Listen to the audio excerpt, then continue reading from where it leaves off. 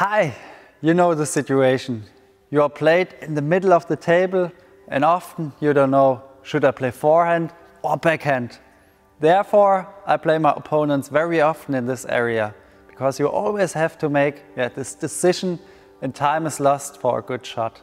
But how can we give a reasonable answer for, yeah, from this dilemma?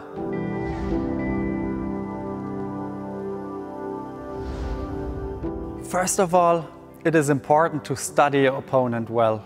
Sometimes you can predict where he's playing from his movement. Sometimes his routines also can tell him, yeah, as everyone follows a certain scheme or tactic. If you put a lot of pressure on your opponent and the ball is slow to come to your center, you should always use the forehand to put pressure. In general, I'm a fan of trying to play more forehand from the middle.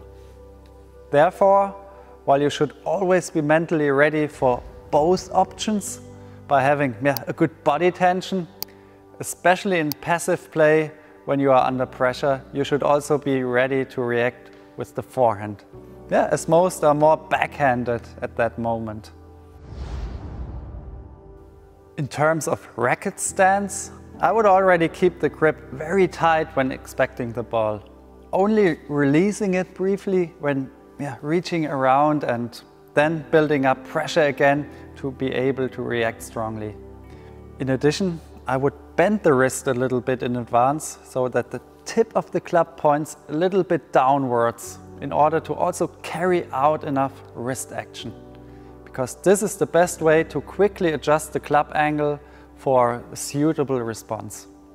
This works whether you end up playing forehand or backhand. If it's very fast, you should only do small side steps with the outside leg. That means if you choose backhand, you should make a small step to the forehand side. If you take the forehand, you make a small step to the backhand side. Yeah, if necessary, yeah, lean your upper.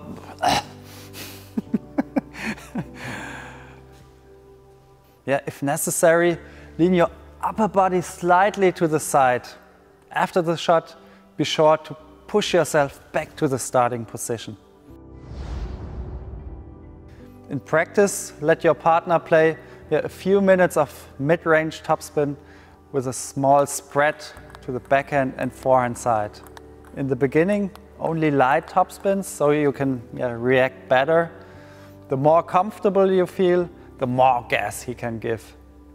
Of course, you will not always make the perfect decision, but under pressure, these are always yeah, emergent, emergency shots and you have usually made yeah, the mistake already before. But with these tips, I think you can often still save the point.